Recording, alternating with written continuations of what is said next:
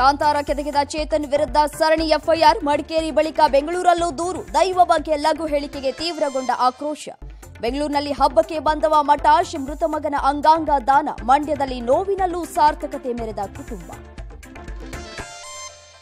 ಕರುನಾಡಿಗೆ ಇನ್ನೂ ಎರಡು ದಿನ ತಪ್ಪಲ್ಲ ಮಳೆ ಕಾಟ. ಕಲಬುರಗಿಯಲ್ಲಿ ಭೀಮಿಯ ಅಬ್ಬರ ಪ್ರವಾಹ. ತುಮಕೂರಲ್ಲಿ ಕೊಚ್ಚಿ ಹೋಗ್ತಿದ್ದ ಬೈಕ್ ಸವಾರನ ರಕ್ಷಣೆ.